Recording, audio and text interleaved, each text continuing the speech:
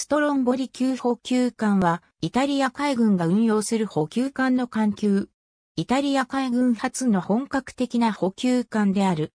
戦型は、大艦板型とされており、また機関配置は、アフトエンジン型タンカーとしての配置が採用されている。また、補修要員20名のほか250名の便乗者を乗艦させることができる。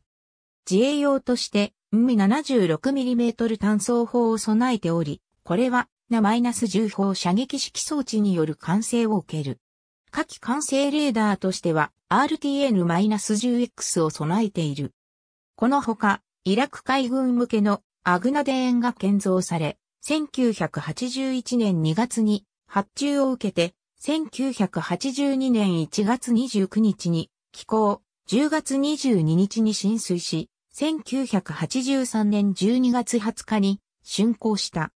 しかし1986年にエジプトアレクサンドリアまでは開港されたものの、イラン・イラク戦争に伴う戦時規制を理由として、イラク海軍への引き渡しは行われず、同地に留め置かれた。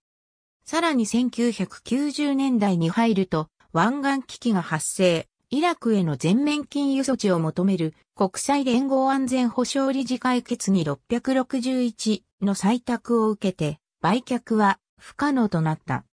1996年8月、艦の所有権はフィンカンティエリ社に返還され、新しい買い手を探すか、あるいはスクラップ処理されることになった。